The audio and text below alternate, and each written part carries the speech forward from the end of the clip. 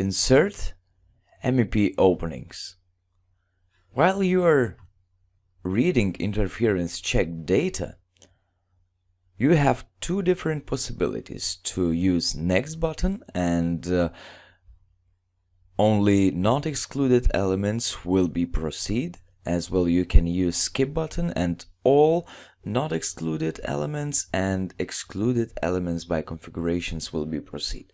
So in the very beginning I will show you what's going on then I'm using next button and I'm missing some configurations for my plumbing pipes. So I'm using next. I'm going to insert MEP openings. I should browse for XML file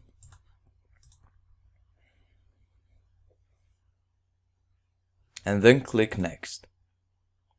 Here I have the same dialog as before, but here I have the button insert modify openings.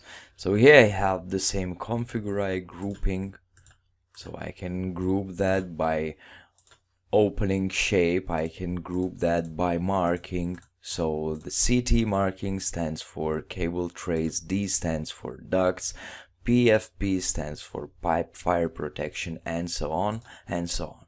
So after I have all the openings checked here and all the cut offsets and additional and top uh, offsets are set as needed as are set as in XML file that we just did in uh, did in configurations I can go and insert my openings So I finished. And now we can review our openings.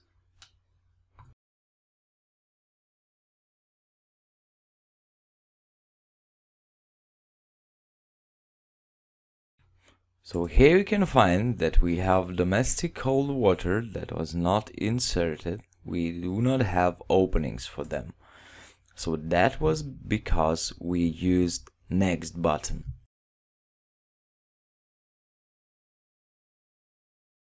If I will use skip button, you can see that I have missing configurations from for pumping pipes and I'm using skip button.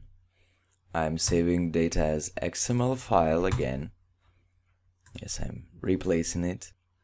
And I'm going to insert MEP openings I'm using that XML file and I'm inserting that. As you can see, it inserted the openings for all these pipes, even for those which do not have any configurations. But let's check what we have inside of this opening. We have new parameters that has values uh, for inserted by, insertion configuration, and insertion date. So we have no configurations for these. So that means these openings were inserted without any configurations. And if I will use this one, you will see that I use default configuration. So that is how I can use next and skip buttons while I'm inserting MEP openings.